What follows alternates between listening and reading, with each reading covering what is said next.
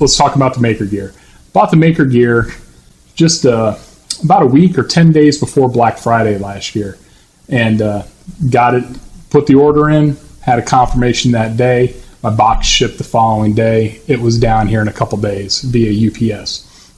The packing on it was incredible. I think I put some early pictures up of what it looked like when it was packed on my first videos on there. It's sturdy, you know. So I just wanted to bring the printer. I don't print with it at normally this position on the table. It's a little bit farther over on my desk, but I wanted you to be able to see the printer. I've done six or seven videos now made on my Maker Gear. You know, this is the printer that I'm using. It's got a 8 by 10 print bed area right here. You'll see I've got a glass plate on it right now, and that glass plate I treat with hairspray. Um, the height, I think it's about 8 inches on there. It may be a little taller. I'd have to check in that. If that's not right, I'll put a note in the uh, in the video. But this is the configuration that I purchased. So when I bought the um, printer, I added this piece right here on the side. So it has an SD card and it also has an LCD screen on here. So this gives me an ability to control my printer without having to use just raw G code. So a menu will come up on this and I can set the print temps. I can print from the SD card and stuff like that. Um, I think it's a good add-on. Um, if you're not looking at doing some other type of interface device, you know, I did start printing with it connected directly to my computer, and I know you're not supposed to do that, but it just worked. I like the control that Simplify 3D gives me when it is directly connected to the printer. You know, just be able to monitor stuff that's going on. It's nice to see the temp graphs and you know you see the G code going along, and you get kind of an estimate on where you're at and a visual res- representation on there. Never had an issue at all until I upgraded to Windows 10, and apparently Windows 10 does a little something with the USB ports, and it would pause the print. So that happened to me twice. I had two failed prints because it just paused during Windows 10. Since then, I went to printing on an SD card and I've never had a problem since. And really, I should have done that a long time ago because the printer I do have hooked up on a battery backup. So if I do lose power, the printer will keep right on printing. It's getting its G code from right over here. So, you know, I don't have to worry about if my something happens with my computer, something locks up on the computer, somebody in the house inadvertently closes the Simplify 3D window out. But, you know, so this I think is a, a well worth add on. It is a green screen. It's not like a full color, you know, LCD screen. Not the biggest fan of the of the knob control. Sometimes you have to turn things twice. Is not as precise as you would think on the knob, but it's not a big deal. You just rotate it one more time and it will move on the screen. But this, I think, is a pretty good add-on. It was $99 to add this on when I bought it to the printer, and I'm glad, really glad I did. Uh, other things on the printer, the printer stock at that point. There's not a bunch of options that you can add to this printer. You can add a dual extruder, but you know anybody starting out in printing, I don't think you really want to jump onto that right off the bat. Um, and you know, I just haven't seen too many maker gears with a dual extruder set up on it. In the forums, if you go to the modification section, and those guys are doing all kinds of crazy stuff. But I'm just talking for the person that's buying their printer, maybe it's their first printer, maybe it's their second printer that they're upgrading from. This is what your printer is going to look like if you choose the LCD option upgrade um, when you get it to the house. So the you know the filament sits right over here on the side. I've got a load. I've got it loaded up with a eSun uh, PLA Plus, uh, gray filament or silver filament. It's not gray; it's silver, and uh, feeds up this tube. Feeds right here into the extruder. All metal hot end at the bottom and that thing gets hot. I mean, it, it'll print all the material. I don't have to worry about can I only do PLA and ABS. It'll do all the exotics, bronze fill, chrome fill, carbon fiber, things like that. Uh, you got this small fan on the front. That's your cooling fan. You know, it's it just works. You know, it works on PLA. You guys know I only print in PLA right now. I haven't really tried any of the other stuff. The ABS, I'm always in my office when this is printing, anyways. Um, so I don't want to have to vent the fumes out the windows. It's like 110 degrees down here in Florida. So if I don't have to crack a window to vent fumes, I'm not going to. Uh, the PLA has been working out great for me. Sometime I want to try the PETG and uh, see how that works. But you know, I'm in no rush to jump on that as long as the stuff I'm doing now is working. the print bed, you know, it it comes with a glass plate.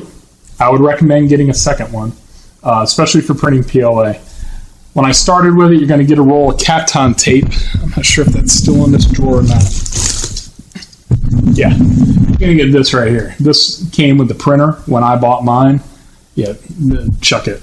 Um, this is an exercise in frustration about putting this on the glass plate so it's smooth and there's no gaps and there's no air bubbles on there. You know, so I got this. I did it my first few plates with it on there. It worked okay. Um, I had a little bit of curling on the edge of my prints and stuff like that with this Kapton tape. So I was like, oh, let me buy some sheets. So I got some full sheets that would cover the glass. I put that on. It was a pain in the butt to put on because there was always an air bubble somewhere. I even did the wet application method. And I'm like, man, this is a pain. Um, and so then I went to think it's pet sheets. And it's a light green sheet. It's in one of the early videos because I showed what the sheets looked like. I put that on there. That stuff ended up being worse than the Kapton tape for adhesion. So I went and got the uh, Tack, and I put some Tack on my plates, and that stuff adheres. It adheres so well that you basically have to knock your pieces off because it sticks so well to those sheets and therein was the problem. My prints stuck so good, I ended up breaking some of my prints trying to get them off. And then I ended up tearing. I had a little barrel that I printed with a small surface area, and it adhered so well when I pulled it off, it tore the BuildTak. That stuff's twelve dollars a sheet. You know, you you want that the, the last on there. So you know, so I put another sheet on. I printed with it, and it just I for me, I was like, there's there's got to be something else on there. And I caught somebody else's video a long time ago, and I see that people print with hairspray on the glass. Now this is for PLA, for PETG. I don't know what they're using, but I know for ABS, you're just going to make an ABS slurry. It's almost the same principle on there. You're going to melt some ABS and some acetone and rub it on your glass, and you're not going to have any issues at all. But for this, got myself a can of Aquanet from the dollar store, and it's the purple can, the extra hold. I wash the glass to get any additional, you know, residue that might have been on there from earlier hairspray off. I spray it, I let it sit for an hour, I put it on here, and I've been using that method now probably five months. I've yet to lose a print due to adhesion, and I've had yet to have a print curl at all on the print bed with hairspray. And depending what I'm printing, I can get four to five prints off each glass plate. Um, so for me, it's the hairspray all the way. Uh, some people use zebra plates. Some people use BuildTak. Some people use there's other type of plates that you can mount onto here. The glass came with it. Hairspray is two bucks a can. It lasts me like two and a half months per can and it hasn't failed me yet. And it's the easiest application ever because when I go to clean the plate, I just run hot water and wipe it with a paper towel. All that old hairspray comes right off. I put the new stuff on, and I'm ready to go. Um, see what else? Filament. I mostly use eSun's PLA Plus. Um, IntServo is the website, uh, intservo.com he also is on the Maker Gear forums. I believe he owns four plus of these. So he's doing this professionally. Yeah, so I'm not sure what all he prints and stuff like that, but he's got a, a need for multiple printers and he is the US distributor for eSun filament. So most of the time on Amazon, if you're buying a roll of eSun filament and it says IntServo, that's him that's coming from his company, or you can go to his website and buy it there. Um, the stuff works. I love the brown. I love the silver. The green looks fantastic too. You know, I print uh, with some uh, Hatchbox also.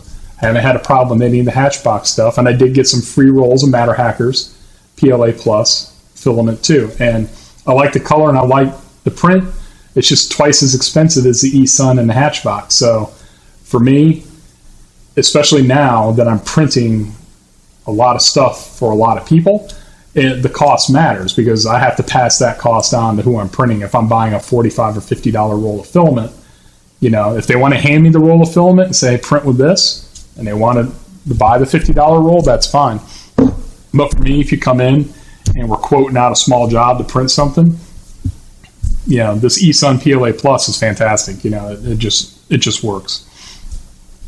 And to the filament manufacturers, if anyone happens to watch this, this is one of the biggest single reasons why I love the eSun filament.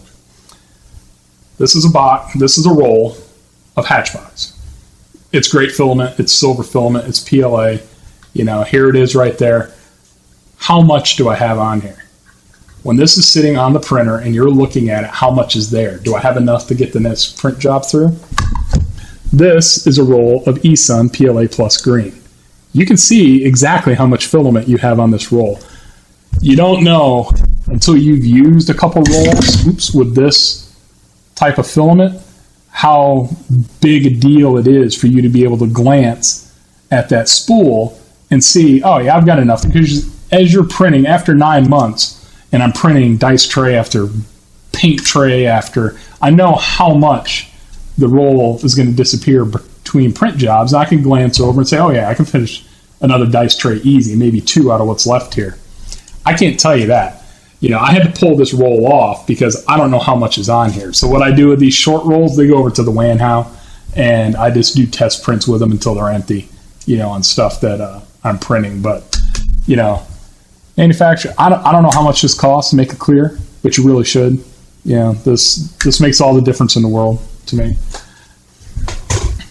All right, enough about the filament. Um, you know, some of the things I, you know, this got linear rails on it, rail system. So you see a couple of the other print manufacturers starting to switch over to this.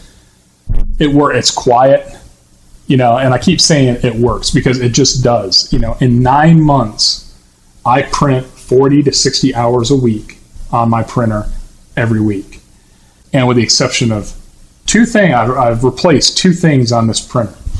I replaced this fan right here because when I unloaded my filament, I pulled it out and I let it go and it hit the fan right here and broke a blade.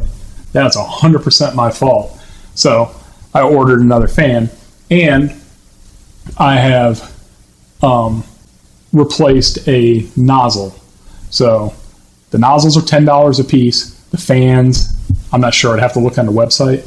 They are less than $10 a piece. So I would highly recommend if you're buying the printer, buy yourself an extra fan just in case, because you're going to get excited and you're going to pull this out, and this is still going to be spinning from a print job you just finished, and let it go, and you'll be shocked that this thing will perfectly bounce right into your fan blades.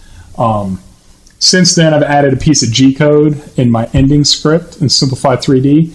So when my print job stops, this fan immediately stops, this cooling fan.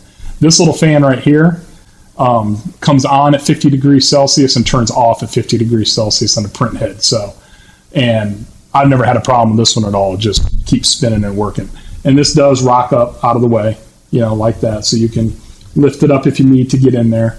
And like I said, with the print head, um, I probably had 400 hours, 300 hours on my last little print head, and I finally had a clog in there because you you can kind of see it's getting gummied up and stuff like that. So again, if you're buying the M2 for ten dollars, get yourself an extra nozzle, and your downtime will be probably ten minutes while you change that nozzle out. And if you see the other one next to it, I figure, well, I'm going to order one. I'm going to order a stainless steel one also because I have a roll of carbon fiber.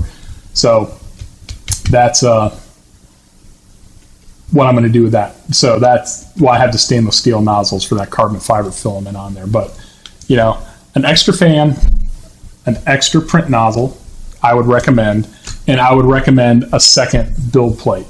You know, get a second piece of glass, less than thirty dollars, I believe. I think you know when I paid for mine, I have three pieces of this borosilicate glass.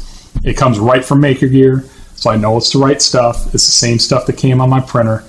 And probably the biggest single tip that I can give you for using this printer is never pull a print off the build plate while the plate is still on the printer.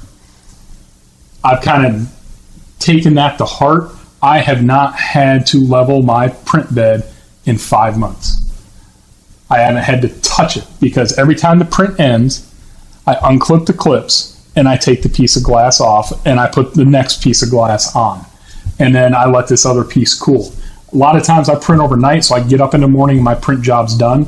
I just unclip the two bulldog clips. I take the piece of glass off. I put the new piece on, and the print just pops right off the glass at that point because it's cooled and it releases the PLA. Um, but if you're sitting here on a weekend and you have a print job finished, even a small print job, even you know those little barrels that I printed and stuff like that, the tendency is going to come over here and grab that and pull, and you're going to get a bunch of resistance. You know, if this is still hot, and when you pull, it can tilt your build, you know, your build platform on here, that can cause it to go out of level. Take your build plate off the build platform when you take your piece off. Biggest piece of advice I can give you. Once you're set, once your Z height is set and your bed is level, if you do that, it's going to be months in between. You know, I'm five months in and I haven't leveled it, you know, so I'm going to keep going like I'm going. And I'm printing edge to edge on this printer now. Um, I used to just do, I load this thing up, you know, because I've been using it so long. So I'm printing paint trays that are coming to within a quarter inch of the whole print bed. So I'm using all the space on there. And once your bed is leveled, if you keep that in mind and take this plate off, it's good to go. Um, or you won't be sitting there having to level the bed. That's the bed thing here is strong anyways. You, are not, you're going to have to really pull on it to get it out of level the Wanhao, if I breathe on it funny, the build plate moves. It's they've got they've updated the system on that one, but when I start really printing with that one, I'll get into that. Um, so uh, if you buy a printer today, you're going to get a metal motor mount up here, and your Z stop is actually going to be at the bottom now, and it's going to have a four point leveling system versus a three. I think it's a Rev E maker, the M2, maybe a Rev F. I'm not sure, but it still looks just the same. If you're looking at it from the front, what you're going to see is this. Yeah, it's got this metal motor mount right here, so it would it, it'll replace this, but I don't need to replace it right now. Everything is still working fine. So if something happens that I have to take this apart, I'll upgrade it with the uh, the metal motor, the metal mount.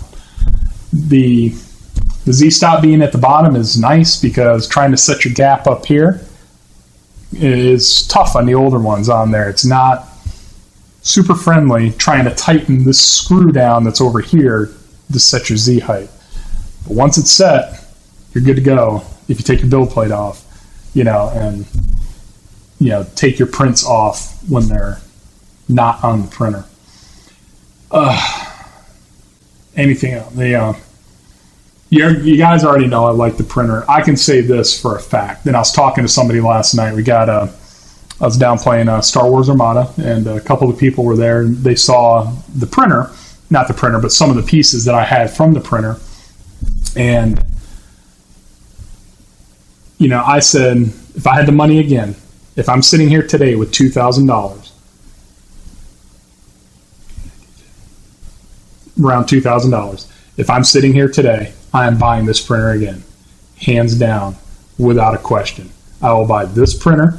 I will buy this display add-on, and I already own a copy of Simplify 3D. Those three things, if you're buying this printer, do yourself a favor and buy yourself Simplify 3D. You spend $1,850 on the printer, spend another 140 bucks and buy Simplify 3D. You can even get the license when you buy the printer, add it to your cart and put it in. It being able to add and remove support structure just that program is just light years beyond some of the other stuff that I've thrown up, you know, when just previewing some models before. You know, it works. Don't spend this amount of money on the printer and not just spend a few. Yeah, I know it's another $150, but nine months later, what do you want to be doing? Do you want to be printing or do you want to be fiddling with your printer or fiddling with software? I want to print. That's what I do. Um, so if you made it this far in, I appreciate how far in. I'm 22 minutes in. So what I'm going to do, I'm going to cut this video here, you know, on my review. This, it's a fantastic printer. They've knocked it out of the park with this printer. When you pick it up, I mean, it's small. I mean, people have come to my office and said, wow, it's little on there. When you pick this up out of the box, you're going to be wow. This is thick metal. You cannot do you can't flex this, you can't bend this. You know, it's it's thicker. Yeah, I'm gonna say than Wanhao, but it's way thicker than Wanhao. But this is a different league of printer. Um, it just works on there. So if you're in the market in your budget, and if you're budgeting around two thousand dollars for a 3D printer, my recommendation is going to be this. There's like three in this price range that are really good printers. But for nine months, I've just printed 40 to 60 hours a week since I've had the printer without fail. One clog, two clogs in nine months. Not a single hardware failure. It comes with a six month warranty, you know, parts warranty. Didn't have to use it. It's not loud. Let me turn it on. That's what it sounds like when it's just sitting here idle you know, I do keep it turned off if I'm not going to print, but I'm going to get ready to move this back over and fill this build plate up with some more printablescenery.com stuff. But what I'm going to do, I'm just going to pause the video here for a second, and then uh, I'm not going to change my setup, but I'm going to go into uh, just some channel updates. So I got $2,000 budget that you're looking for a 3D printer. You will not go wrong with this printer, hands down. Yeah, you can see some of the stuff in front of me. I'll talk about this stuff in just a minute because it'll be a quick 10 minute video on a, a, channel update. So appreciate you being here. If you're new and this is the first video you've seen on the Maker Gear M2, check out my Made on Maker Gear videos. I think there's five or six of them up there. They're 30 to 40 minutes long and they are chock full of stuff that I've printed on this printer. So you have a good night and uh, appreciate you being here on my channel and I'll see you again soon.